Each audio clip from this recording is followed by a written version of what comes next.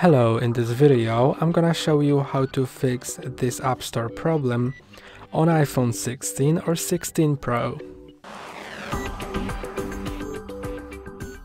When App Store shows that it cannot connect and clicking on retry doesn't help, you may need to go to settings and first thing to do is make sure that you're logged into your Apple account. If you're not, then click here on the top and you'll be able to log in. Then go to general and uh, go to date and time and make sure that date and time is set automatically. Now, if date and time is set automatically, when you go to App Store and click on retry,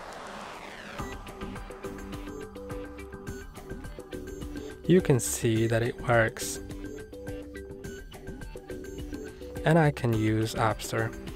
That's all for today, don't forget to like and subscribe, see you next time.